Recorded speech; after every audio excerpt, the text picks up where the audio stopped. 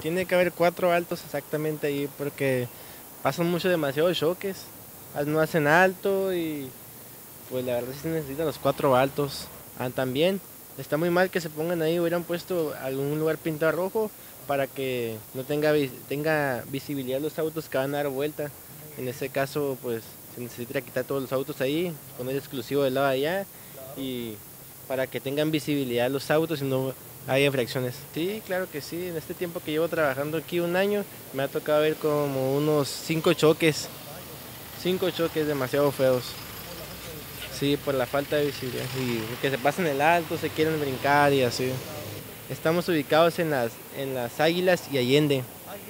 Sí, unos cuatro altos para que no haya choques y estemos más tranquilos aquí. El área está, uh, pues esta área está muy peligrosa, siempre ha habido accidentes, siempre cada rato hay accidentes, uno o dos veces, pero sí, siempre esta área se, mucho, mucho tráfico en las mañanas principalmente. principalmente sí, en veces, pues sí, cierto, ponen carros ahí en la esquina, pero igual no es de diario, ni de vez en cuando entrada por salida, ¿verdad?